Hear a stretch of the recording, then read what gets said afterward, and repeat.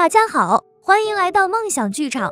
大制作从不惧怕空降而来。七月的时候，库场放出了《沉香如屑》，直到开播前几个小时才有要动的消息。首播当晚登上多个高位热搜。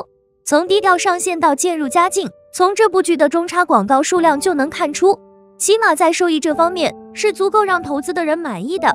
凭借《沉香》，杨紫与程毅的带剧能力再次被肯定，特别是后者。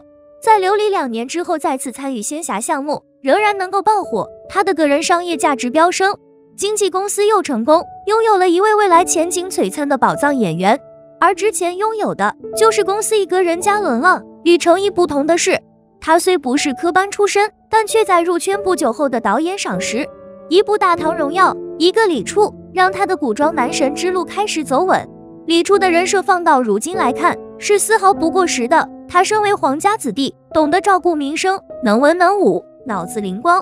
沈珍珠女扮男装，他没有傻到没发现；心机女孩装柔弱，他撇下就不管。在大义面前，先完成自己的责任，同时保护妻儿。最终放走病重的沈珍珠，自己回去做好皇帝，面面做得周到。全数上去的妆发，既符合了朝代特色，又最大程度展现了他外形上的优秀。天选古人在这之后，接连拿出三个角色，个个是角色。冷面陆毅，前后反差大；呆萌长毅，从未变过纯善之心。锦衣之下里的陆毅，完美演绎什么叫前期狂拽酷，后期火葬场。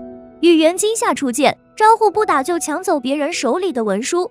知晓了他的名字之后，做的第一件事是让人家去打扫马厩。即使在一同破案的过程中，不自觉的一点点对袁今夏倾心。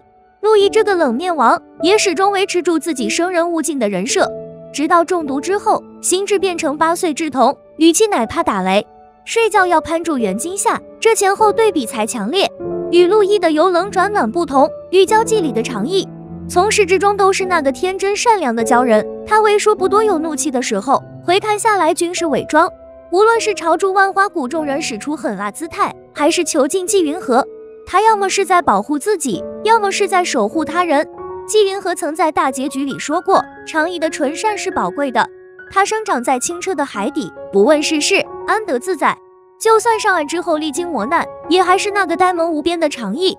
千年沉睡将军陆岩为爱诚心等待，痴情种一枚。庆君的播出让不少观众感叹，时隔三年，还是掉进了老陆家男人的温柔陷阱。陆毅之后。任嘉伦又贡献出一个内敛性格的人物。陆岩沉睡之前是痛失挚爱的人族将军，归来是叫醒里不缺钱财的老板。他等待千年，只为寻找云溪下落。为此，他能选择留在清泉寨当二房，也会在得知于登登的血能破除阵法，觉得他就是云溪之后后悔万分。陆岩是深情不移的，在感情方面他足够真诚，而在为人方面，他在千年之前与云溪交流的时候就表示过人族是美好的。而后苏醒归来，面对顾北西对灵族的质疑，他选择为纯洁善良的灵族说话。不管他站在哪一边，始终站在对的一方，且不更改立场。陆岩这个角色，后期可以细挖的设定还有许多。同样是沙场好儿郎，他与周生辰之间会有什么样子的区别呢？